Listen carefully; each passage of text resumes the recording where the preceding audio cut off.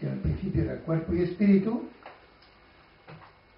después será cuerpo y razón, y animal racional, animal racional, y después será, no llegué a decir animal racional porque, porque esta idea dual que viene de Descartes, pues mm, la neurociencia no la permite y tal, pero la razón es una cosa diferente, es algo diferente en el hombre del resto de sus facultades sensitivas. Desde aquí, entonces, se arman muchos embrollos a la hora de eh, decir que se hace con la razón para trabajar en el camino interior. Eh, en este sentido, creo que es, más práctica mm, la, concepción antropológica de Oriente. Y es más práctica porque la concibieron no para hacer filosofía ni ciencia, sino para hacer mm, camino interior. Y por tanto no es de extrañar que sea más apta. La concepción oriental, de raíz en la India, luego, luego evidentemente pasa al budismo, porque es indio, y todas las ramas del budismo tienen esta concepción, y es que la mente es el sexto sentido. La mente es un sentido. ¿Veis que eso tiene mucha trascendencia?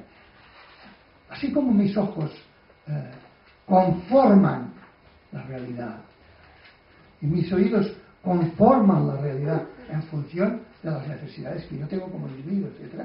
Lo conforman, seleccionan, simplifican, estructuran la realidad para el animal, el bicho que soy. Y lo mismo puedo, decir del, tacto, del gusto, etc. ¿no? es lo mismo lo que gusta, lo que le gusta al sketch a, mi perro que el, paladar que tengo yo, porque está en función de, estómagos diferentes, de necesidades. Todos los sentidos conforman. Y la mente es un sentido más. Nuestro cerebro conforma la realidad. ¿no? Igual, igual que los otros sentidos. Por tanto, supuesto que conforma la realidad, eh, está en función del animal.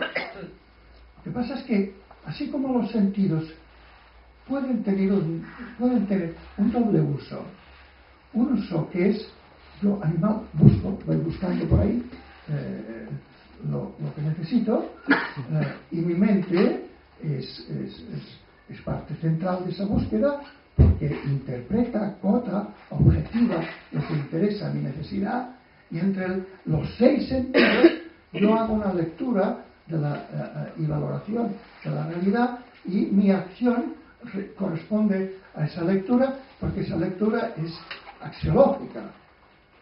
Fijaros que mi mente, al ser el sexto sentido, es axiológico también.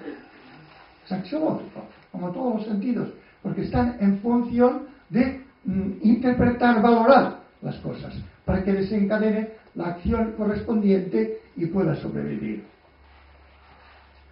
Eh, lo que pasa es que los sentidos pueden hacer, empezamos con los sentidos, después hablar de la razón. Los sentidos podemos hacer un doble uso de, de los sentidos.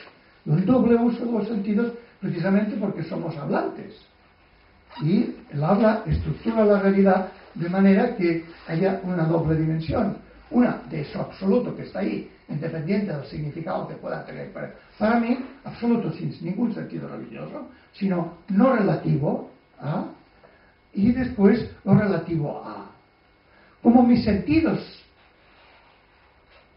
pues son los sentidos de un animal hablante, tienen esta doble dimensión, no puedo usar los sentidos en función de mi búsqueda para sobrevivir o gratuitamente gratuitamente. ¿no? Y la mente puede hacer exactamente igual. Puede utilizarla para, para buscar, acotar, objetivar y sobrevivir, o bien gratuitamente. Tanto cuando, cuando eh, utilizo mis sentidos gratuitamente como utilizo mi mente gratuitamente, surge el asombro ¿Por qué el asombro? Porque mis, mis, mis sentidos están buscando cosas para él que le sirven. Si se paran y miran al solo anda, y entonces, ¿y esto qué es? ¿No? Surge el asombro. La mente también tiene eso, surge el asombro, la mente se asombra. De ese asombro salen todas las preguntas, científicas, filosóficas, eh, artísticas, eh, mm, espirituales, religiosas, etc. Surgen todas las preguntas. Hasta aquí no había, mm, no, había, no habría más problemas. ¿no? Resulta que la mente eh, puede, utilizando la lengua, haciendo metalenguas, lenguas que no van directamente a, la sobrevivencia inmediata, sino a una sobrevivencia más sofisticada, ¿no? creando aparatos teóricos, instrumentos, etcétera, para sobrevivir mejor. Entonces, eh, mm, adquiere una nueva posibilidad la mente. Esta nueva posibilidad la adquiere precisamente cuando eh, desconecta el uso de la mente de la función de sobrevivencia inmediata, aunque no, no inmediata, de supervivencia inmediata. La desconecta y, para desconectar lo que se que hacer solamente una cosa, y es abstraer del lenguaje, de las unidades semánticas, de las unidades más amplias, abstraer lo axiológico. ¿Qué es lo axiológico? La interpretación de las cosas que las valora para que, para que yo pueda actuar sobre ellas y sobrevivir. Abstrayendo lo axiológico, yo tengo con mi mente un acceso diferente a la realidad. Pero ese acceso diferente está en función del sexto sentido. ¿eh? Esto es lo que nos ha engañado en Occidente. Pensar que es, es algo diferente de los otros sentidos. No, es un sentido más. Un sentido quiere decir, pertenece a mi aparato, eh, al aparato de este cuerpo eh, perceptivo, eh, interpretador, configurador, etcétera, de la realidad.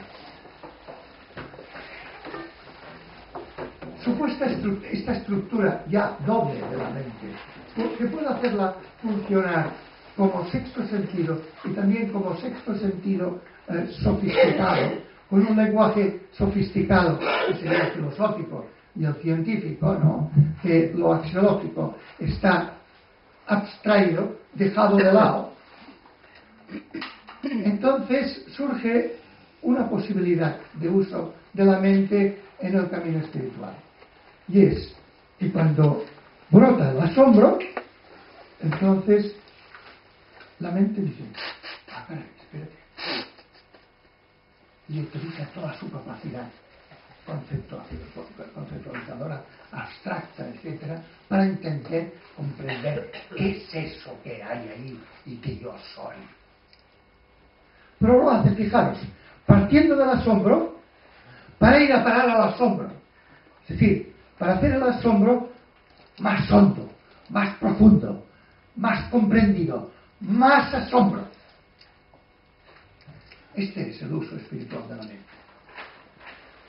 Esto es lo que hace el budismo y esto es lo que hace el Vedanta. Y esto es lo que hace Rumi también y muchos místicos sufís, aunque no, lo hagan de una manera tan, tan cruda como lo hacen estos textos. Por tanto, fijaros, no, no puede haber un uso de la mente en el camino espiritual que sea en línea continuada de la filosofía y de la ciencia. No. Si es de la filosofía que arranca del asombro, todavía, una filosofía verdadera que arranca del asombro, todavía podría ser que le pudiera conducir, aunque la pretensión es diferente porque sería interpretar la realidad para poder actuar mejor en ella, organizar, mejor la, la sociedad, el comportamiento, etcétera, etcétera. En cambio, aquí sería nada más eh, comprender el asombro porque asombra y porque quiero, quiero penetrarlo más profundamente. ¿no? Mm.